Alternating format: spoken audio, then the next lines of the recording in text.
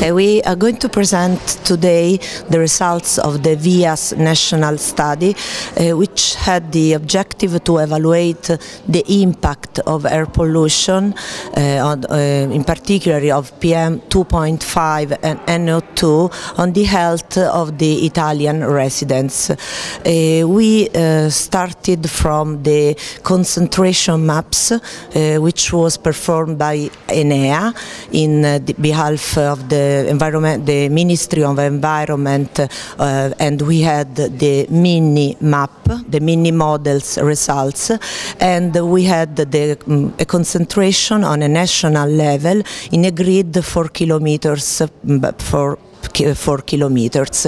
And the results of the project says that almost 20% of Italians lived in area where the concentration of PM10 exceed the value, the European standard value, uh, 25 micrograms by meter cubic in uh, for PM10 and mostly people residents in north has the highest exposure and people living in city one of two 54% of people living in urban area exceed the value that the EU said as a standard and only 20% um, of Italians lived in areas where the concentration is below the limits of 10 microgram by meter cubic meter uh, we are talking about PM 2.5, which the WHO says it's a safe level for our health. The results of the project estimate uh,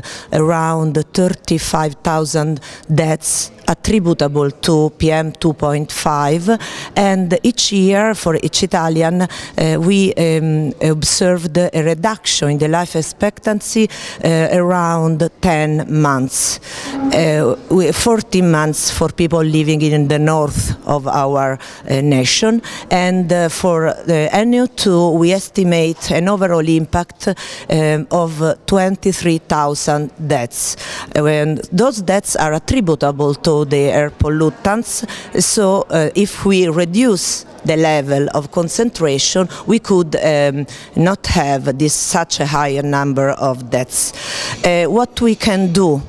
to improve our health? First, to reduce the emission and so the concentration because PM PM uh, 2.5 and NO2 mainly comes from traffic, for urban traffic. So reduce the emission means reduce the number of cars circulating in our cities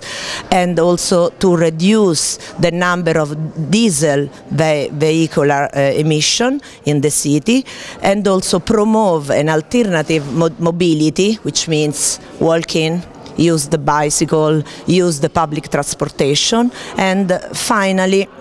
improve the green because the, uh, green can have uh, a beneficial effect on our health because they capture the uh, pollutants, remove them from the atmosphere. And finally, I want to stress out that yes, we have traffic, but we also have during winter the problem of biomass combustion, which means the civil heating, because we should um, control those emissions because PM10 in, uh, in uh, Po Valley during winter comes both from traffic and from uh, biomass combustion. Combastio.